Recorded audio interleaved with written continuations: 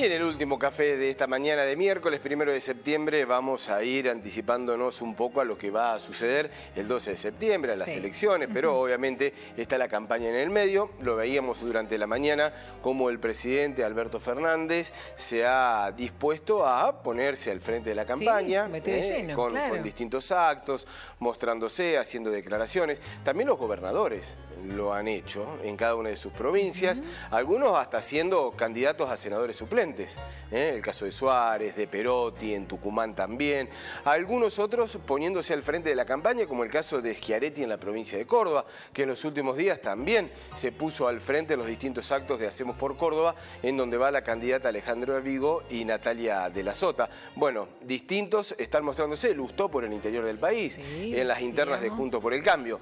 Bueno, ¿qué hace Mauricio Macri? También, estuvo presente el ex presidente y yo digo en una de las provincias en donde la interna más caliente está, en Juntos por el Cambio, que es la provincia de Santa Fe, en donde hay cuatro opciones para dirimir quiénes van a ser los candidatos a senadores y, a este diputados por la provincia de Santa Mauricio Macri a Angelini.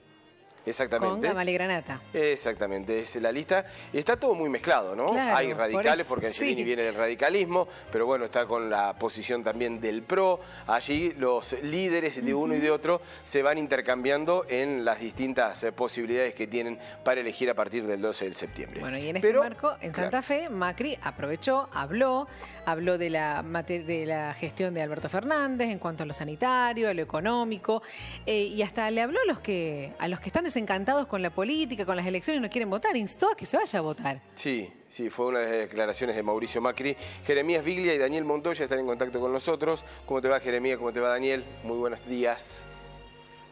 Buenos días, ¿Qué tal, amigos? Muy, muy buenos días. Bueno, no queda nadie por aparecer, ¿no? Aquí en 11 días van a ir apareciendo todos, digo, los referentes políticos, las figuras políticas que van a estar haciendo su presencia en distintas provincias y apoyando a distintos candidatos. Sí, te Daniel, si eh, Mariano, hola, Mercedes, Jeremías.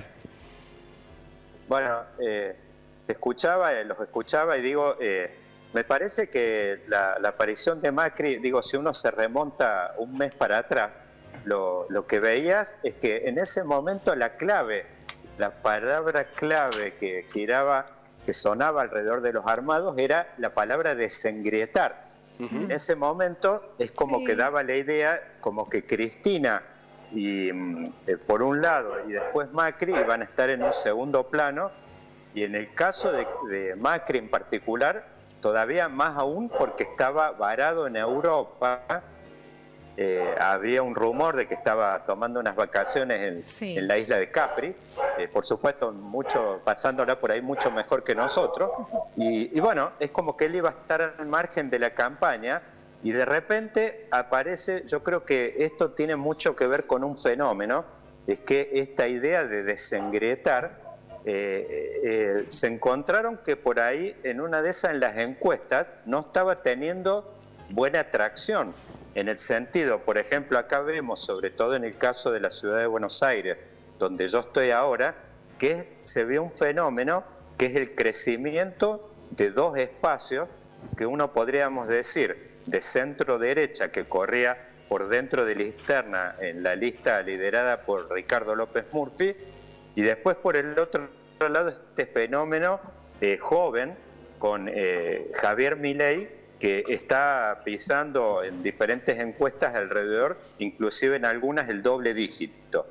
¿Qué es lo que se encontraron ahí? Que de alguna forma la desaparición de las propuestas o de los candidatos de perfil más duro, puntualmente eh, el caso de Patricia Bullrich, que iba a ser candidata en su momento en la ciudad de Buenos Aires, y por el otro lado directamente no tenemos la presencia de Macri, ni siquiera de su primo Jorge Macri en ninguna lista, y por el otro lado ocurría lo mismo en Espejo, si vemos no aparecía ninguno de los apellidos, ni eh, Kirchner en ninguna de las dos variantes, ya sea Cristina o Máximo, ni ninguno de los apellidos tradicionales que suelen participar en las elecciones, sea Scioli, Felipe Solá, todos los candidatos que Sergio Massa que es la primera vez que no compite en una elección en 18 años. Es como que había una propuesta de generar candidaturas nuevas, frescas, el caso, por ejemplo, este de Victoria eh, Tolosa Paz en la provincia de Buenos Aires, bueno, es como que eso en las encuestas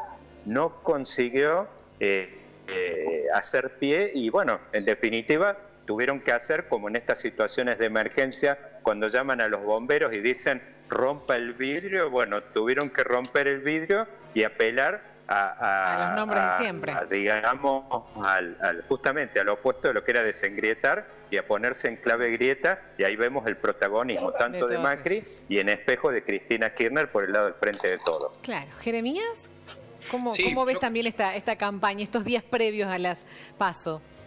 Sí, por supuesto hay movimientos muy interesantes para analizar de muchas perspectivas. Creo que hay muchos elementos que vamos a tener también la posibilidad de analizar el día posterior a la, propia elección, ¿no?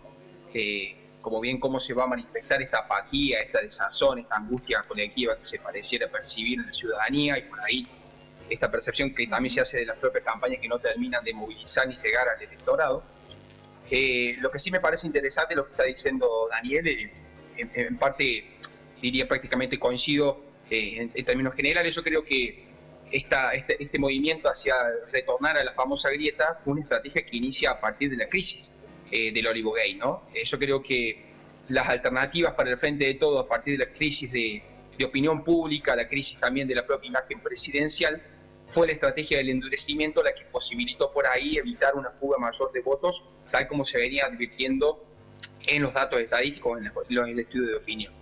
Eh, ese endurecimiento hizo que el gobierno no tuviera que hablar de la pandemia, no tuviera que hablar de la economía, sino más bien recurrir al pasado, recurrir a, los extractos más duros, al bloque ideológico, eh, en cierta manera eso terminó siendo la excusa o aquello que posibilitó un cambio de estrategia incluso también en la propia oposición. La figura de Mauricio Macri viene a expresar juntamente esto. Déjame advertir una cuestión, yo, yo me animo a, concluir en algo. Yo creo que en eso el oficialismo falló en su estrategia en volver a subir a Tina Macri. Porque, como bien dice Daniel, estos datos que para la oposición estaban siendo bastante llamativos, el crecimiento de figuras como López Murphy. Eh, sabemos que el PRO, digamos, eh, en su faceta junto con el cambio, nunca tuvo una fuerza política que le, que le trajera votos por derecha. En este caso sí aparecieron opciones que por centro derecha estarían quitando poderío electoral, pero creo que el oficialismo, el frente de todos, en esta estrategia se equivocó, porque al subir al McLaren lo que hace también es endurecer las posiciones de Juntos por el Cambio de aquellas personas que por ahí tenían una sensación de que la estrategia para combatir el kirchnerismo o para enfrentarse al kirchnerismo debería ser una posición mucho más dura y que por ahí estaban optando en estas nuevas opciones y terminan volviendo a las arcas de Juntos por el Cambio a partir de esta modificación de la estrategia. Con lo cual, yo creo que eh, en cuanto al comportamiento electoral y, estas cuestiones son, son detalles muy mínimos y, creo que hay muchos que los podemos advertir. Yo me animo a hacer una, una pequeña proyección pero creo que también muchas cosas vamos a terminar viendo el día después, eh, insisto, ¿no? En, este contexto de crisis económica, de la tragedia de la pandemia, más la apatía social, va a ser sumamente interesante para analizar el comportamiento.